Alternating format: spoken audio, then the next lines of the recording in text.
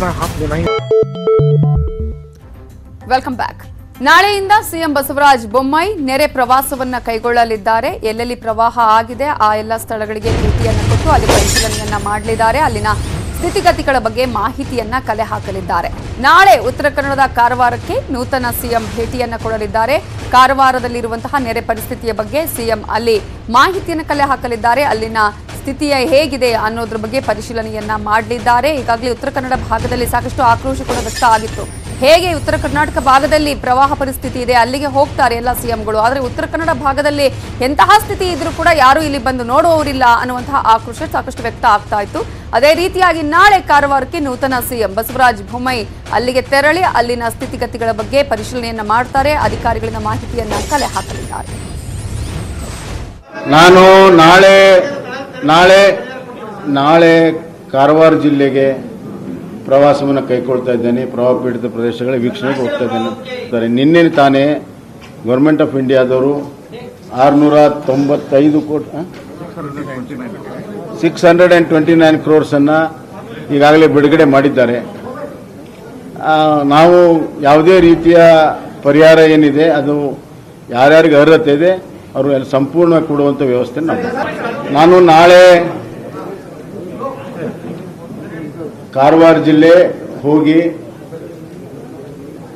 ಸಮಗ್ರವಾಗಿ ಇರುವಂಥ ನೆರೆ ಪರಿಸ್ಥಿತಿ ಬೇರೆ ಜಿಲ್ಲೆಗಳಲ್ಲಿರೋದನ್ನು ಕೂಡ ಬೆಂಗಳೂರಿಗೆ ಬಂದು ಅದರ ಬಗ್ಗೆ ಎಲ್ಲ ಸಭೆಗಳನ್ನು ಮಾಡಿ, ತೀರ್ಮಾನಗಳನ್ನು ಮಾಡಿ. ತದನಂತರ ನಾನು ಪ್ರಧಾನಮಂತ್ರಿಗಳಿಗೆ ಸಮಯ ಕೇಳಿದ್ದೇನೆ. ಅವರು ಸಮಯ ಕೊಟ್ಟ ತಕ್ಷಣ ನಾನು ಬಸವರಾಜ ಬೊಮ್ಮಾಯಿ ಅವರು ಸಿಎಂ ಅಂತ ಹೇಳಿ ಯಾವಾಗ ಘೋಷಣೆ ಆಯಿತು ಇವತ್ತು ಪದಗ್ರಹಣ ಕೂಡ ಆಗಿದೆ. ಆ ಹಿನ್ನೆಲೆಯಲ್ಲಿ ಅನೇಕರು ವಿಪಕ್ಷ ನಾಯಕರು ಸೇರಿದಂತೆ ಎಲ್ಲರೂ ಕೂಡ ಶುಭ ಹಾರೈಸಿದ್ದಾರೆ. ಪ್ರಮುಖವಾಗಿ ವಿಪಕ್ಷ ನಾಯಕರು ಸಿದ್ದರಾಮಯ್ಯ ಅವರು ಶುಭ ಹಾರೈಸೋದ್ರ ಜೊತೆಗೆ ಕಿವಿ ಮಾತು ಕೂಡ ಹೇಳಿದ್ದಾರೆ. ಬೊಮ್ಮಾಯಿ ಅವರೇ ಸಿಎಂ ಆಗಿದ್ದೀರಾ? ಜನಪರ ಕೆಲಸವನ್ನ ಮಾಡಿ. ರಾಜ್ಯದ ಅಭಿವೃದ್ಧಿ ವಿಷಯದಲ್ಲಿ ನಮಗೆ ಸಹಕರಿಸಿದ್ರೆ ನಾವು ಕೂಡ ನಿಮಗೆ ಸಹಕಾರವನ್ನ ಕೊಡ್ತೀವಿ ಅಂತ ಹೇಳಿ ನೂತನ ಮುಖ್ಯಮಂತ್ರಿ ಬಸವರಾಜ ಬೊಮ್ಮಾಯಿಗೆ ಸಿದ್ದರಾಮಯ್ಯ ಅವರು ಕಿವಿ ಮಾತನ್ನ ಹೇಳಿದ್ದಾರೆ ಟ್ವೀಟ್ ಮಾಡಿದ್ದಾರೆ ಶುಭಾಶಯಗಳನ್ನ ಹೇಳಿದ್ದಾರೆ. ಹಾಗೇನೆ ಆ, ಯಾವ್ಯಾವ ರೀತಿಯಾಗಿ ಸಹಕಾರ ಕೊಡಬೇಕು ನಿಮ್ಮ ಸಹಕಾರ ಹೇಗಿದೆಯೋ ಅದೇ ರೀತಿಯ ಸಹಕಾರವನ್ನು ನಾವು ಕೂಡ ಬಯಸ್ತೀವಿ ಅನ್ನೋದನ್ನ ಹೇಳಿದ್ದಾರೆ. ಯಡಿಯೂರಪ್ಪನವರು ಮಾಡಿದಂತೆ ಪ್ರತಿಪಕ್ಷಗಳನ್ನ ನೀವು ಕಡೆಗಣಿಸಬೇಡಿ. ನಿಮ್ಮ ಕಾಲದಲ್ಲಾದರೂ ಮಾಹಿತಿ ವಿನಿಮಯ ಸುಗಮವಾಗಿ ನಡೆಯಲಿ. ಸಿಎಂ ಹುದ್ದೆ ಪಕ್ಷದ್ದಲ್ಲ, ಅದು ರಾಜ್ಯದ್ದು ಅಂತ ಹೇಳಿ ಸಿದ್ದರಾಮಯ್ಯ ಅವರು ಸರಣಿ ಟ್ವೀಟ್ ಅನ್ನ ಮಾಡಿದ್ದಾರೆ. ರಾಜ್ಯಕ್ಕೆ ಅನ್ಯಾಯವಾದಂತಹ ಸಂದರ್ಭದಲ್ಲಿ ಸರ್ವಪಕ್ಷಗಳ ಸಭೆ ಮತ್ತು ನಿಯೋಗವನ್ನ ಕರೆಯಿರಿ ಎರಡು ವರ್ಷಗಳಿಂದ ಎಲ್ಲವೂ ಕೂಡ ನಿಂತು ಹೋಗಿದೆ. ನೀವು ಅದಕ್ಕೆ ಮರುಚಾಲನೆ ಕೊಡಿ ಅಂತ ಹೇಳಿ ಟ್ವಿಟರ್ ಮೂಲಕ ಹಾಲಿ ಸಿಎಂಗೆ ಮಾಜಿ ಸಿಎಂ ಸರಣಿ ಸಲಹೆಗಳನ್ನ ಕೊಟ್ಟಿದ್ದಾರೆ, ಶುಭಾಶಯವನ್ನ ಕೋರಿದ್ದಾರೆ, ಕಿವಿ ಮಾತನ್ನ ಹೇಳಿದ್ದಾರೆ.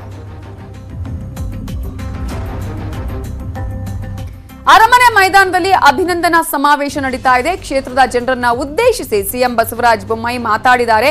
ನೀವೆಲ್ಲ ನನಗೆ ಶಕ್ತಿ ತುಂಬೋದಿಕ್ಕೆ ಬಂದಿದ್ದೀರಾ? ನನಗೆ ಈ ಭಾರ ಹೊರೋದಕ್ಕೆ ಶಕ್ತಿ ತುಂಬಿದವರು ನೀವು. ನಿಮ್ಮ ಬೆಂಬಲದಲ್ಲಿ ಎಷ್ಟು ಶಕ್ತಿ ಇದೆ ಅನ್ನೋದು ನನಗೆ ಗೊತ್ತಿದೆ. ನನಗೆ ಹೆಗಲು ಕೊಟ್ಟು ಕೆಲಸ ಮಾಡಿದ್ದೀರಾ? ನಿಮ್ಮನ್ನ ನೋಡಿದಾಗ ಆತ್ಮವಿಶ್ವಾಸ ಹೆಚ್ಚಾಗತ್ತೆ. ಸದಾಕಾಲ ನಾವೆಲ್ಲ ಒಟ್ಟಿಗೆ ಇದ್ದೇವೆ. ಅಧಿಕಾರ ಇರಲಿ, ಇಲ್ಲದಿರಲಿ ನಾವು ಧೃತಿಗೆಟ್ಟಿಲ್ಲ ಅಂತ ಹೇಳಿದ್ದಾರೆ ಸಿಎಂ ಬಸವರಾಜ ಬೊಮ್ಮಾಯಿ. ದಯವಿಟ್ಟು ಯಾವ ನನಗೆ ಗೊತ್ತಿದೆ. ನಿಮ್ಮ ಗಮನದಲ್ಲಿ ಎಷ್ಟು ಶಕ್ತಿ ಇದೆ ನನಗೆ ಗೊತ್ತಿದೆ. ನಾವೆಲ್ಲ ನನ್ನನ್ನು ಬಹಳ ಹತ್ತಿರದಿಂದ ನೋಡಿದ್ವಿ. ನಾವೆಲ್ಲ ನನ್ನ ಜೊತೆಗೆ ಹೆಗಲಿಗೆ ಹೆಗಲು ಕೊಟ್ಟು ಕೆಲಸವನ್ನು ಮಾಡಿದ್ದೀರಿ ನನ್ನ ಹೆಜ್ಜೆ ಹೆಜ್ಜೆ ಇಟ್ಟು ಸಾಧನೆಗಳನ್ನು ಮಾಡಿದ್ದೀರಿ ಉಳಿದ ಅಪ್ಡೇಟ್ಸ್ ನೋಡೋಣ ಬ್ರೇಕ್ ಆದ್ಮೇಲೆ.